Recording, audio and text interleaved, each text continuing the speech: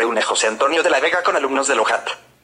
Villahermosa, Tabasco, a 22 de noviembre del 2017.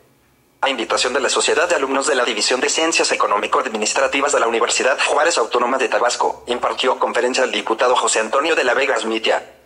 Ante estudiantes y maestros impartió la conferencia Desarrollo Económico de Tabasco, Retos y Perspectivas, destacando que por la ubicación geográfica del estado de Tabasco, nos favorece fortalecer el campo con la agroindustria apoyando de principio a fin a los productores.